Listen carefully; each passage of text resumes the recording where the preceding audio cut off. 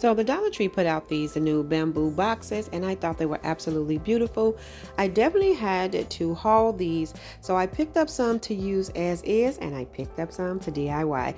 Here are a few of the ones that I picked up in the Dollar Tree. Different colors, different sizes and styles. I thought these was absolutely beautiful and I just had to pick these up. So as I mentioned, they are definitely cute as is, but in today's video, I'm going to do some really simple DIY hacks on how I'm going to style these around my home. I hope you enjoy today's video.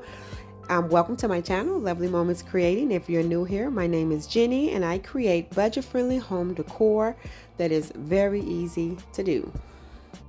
I apologize for any noise in the background. I'm actually doing this out on my patio. So there's kids playing and there's all kind of noise, including the wind. Now for this uh, first set, because I'm going to be doing a set of two, I have two different sizes of the same boxes. And uh, what I'm going to be doing is just taking off the top part. So what I'm going to do is just flip it back a little bit. I'm keeping the little hook. So the little hook is how my pieces are going to hang on the wall because these are wall pieces. And I'm just flipping it back just a little bit so that it can be even with the wood piece. And then what I'm going to do is take the scissors and cut that part off. I am going to still be using the pieces that I cut off. All the pieces that I didn't use in any of these projects today, trust me, I am going to save them because this is some really nice bamboo um, fabric, I guess that's what you can call this, and I'll be using this in future projects. So that's how it look, and I'm just going to go ahead and cut this piece off the second one what once I get this piece cut off what I'm going to do is because the inside of these boxes is the unfinished side because these have some kind of protector or some kind of um, light fabric on the other side or mesh um, I wanted to have the finished side on the back. So I'm just cutting off the little cute bead that's attached to it and I am saving all of these beads because they are really cute. And then I'm just going to cut off the, um, the one on the other one and what I'm going to do is cut these down to size to fit inside of um, the boxes. I just have to scrape the little tag off the box. So I'm just lining it up to see how much I need to cut down and then I'm just going to clip it down to size and as I mentioned I am keeping all of the scraps from these uh, projects because I definitely can use them in future projects and then I'm just going to make sure that it fits inside so that the backing can have the finished side as well. I'm going to cut the other one down for the other box and then to attach these and make sure that they are secure in the inside. I'm just going to go in and add a line of hot glue to the top and the bottom. That is all this need to secure these pieces. And I think these turned out really cute for some wall decor. All of these projects in today's video are simple and just easy DIY hacks that you can use to style these boxes. I'm sure there are so many ideas that you can do with these boxes. I know I have plenty more, so I know there's going to be a part two to this video. How adorable did these turn out? I love miniature decor, and this just gave me a really cute way to style some.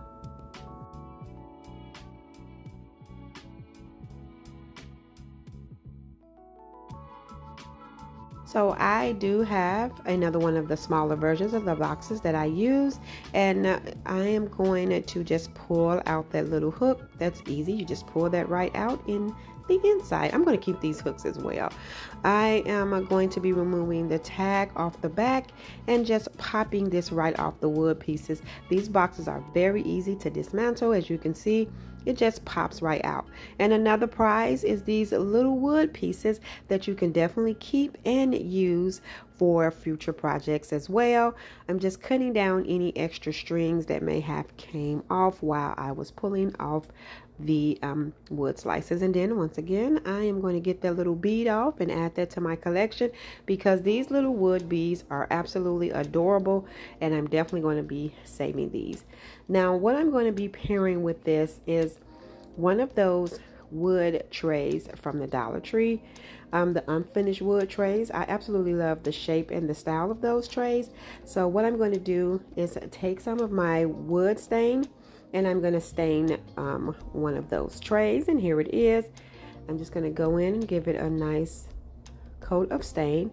And then after I get that complete, what I'm going to do with that bamboo fabric is cut it down the size so that it can fit right inside of the tray.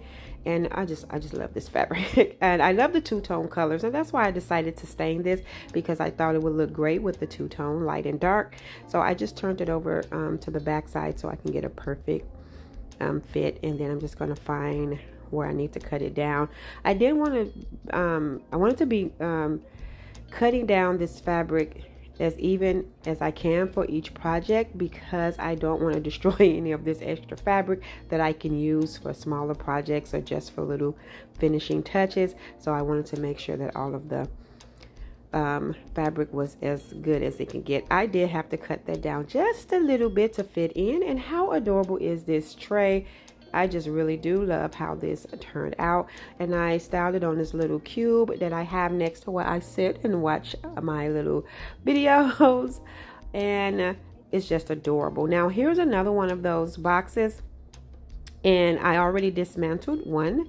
And here's that sheet here. And I am going to pull this one back and cut the top, top part off of this one as well. Once I just cut it down to size, I'm just going to have this cute little box here. And then now I'm cutting off the bead and the strings that's on the um, fabric that I already pulled off another box.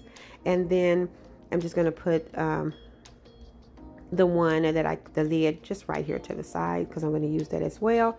And then, then what I'm going to do is fold a piece. I'm making a four pack of coasters and I'm just going to fold how big I want the coasters. As you can see, this fabric have like a film on the other side. So that was perfect to make my cute little coasters.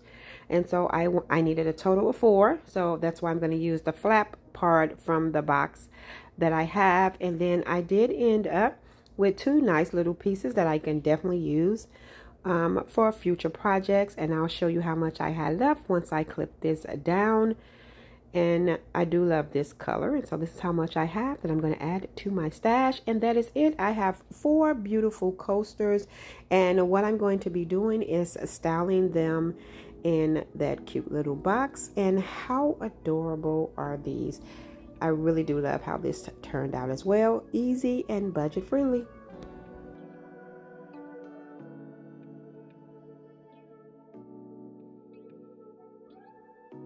Now this next one is definitely a quick DIY hack. I'm just removing the tag from the bottom of this box and I am definitely going to keep this one intact. This is just a cute way to style them. So I'm going to take one of those chunky stems from the Dollar Tree out of that pack. I always pick these stems up when I see them in the Dollar Tree. I'm adding some hot glue to the bottom and placing it right to the bottom of the box. I'm going to take one of those little um, LED tea candles and I'm going to place it right on the stem. I added the stem to give it a little level and just to have placement for the little candle in the box. I am going to style this um, from the back that way you don't see the um, opening and it just looks like a cute little nightlight. I really do like how this looks.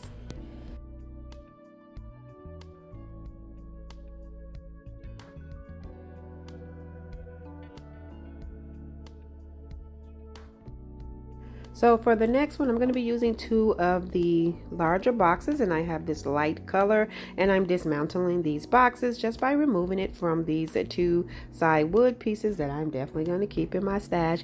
And then I'm going to remove the hooks and the little bead. And now I have two pieces. Now you can attach these this way to create a nice runner or this way to create a large placemat. Either way is cute, but I need a runner for my mantle. Now I wish I would have did three pieces because I would have liked this longer. But what I'll do is I'll pick up another box that size and that color to attach to, to these two. But that is it. I added some of that light color duct tape to keep them together. Added it to my mantle and how cute is this?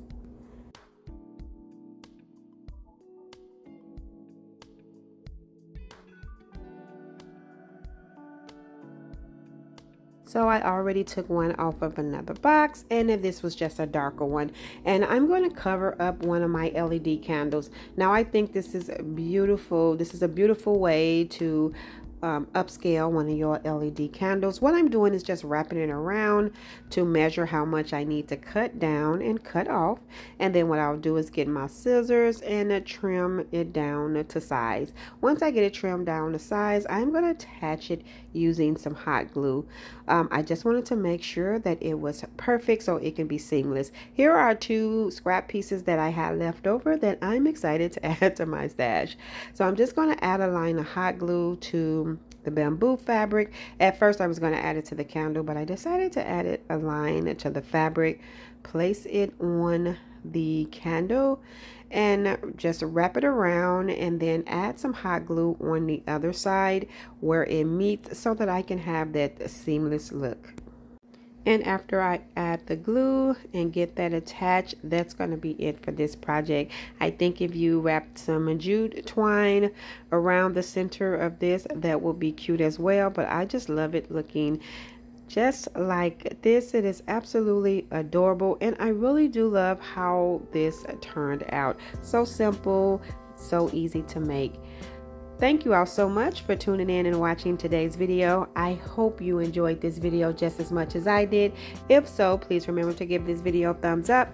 And if you haven't already done so, subscribe to my channel because I would love to have you here. As always, in the comment section below, let me know which one of these DIYs were your favorite. And let me know also if you have seen any of these boxes in your Dollar Tree as well. Until next time, my sweet friends, stay safe so that I can see you in the next video video.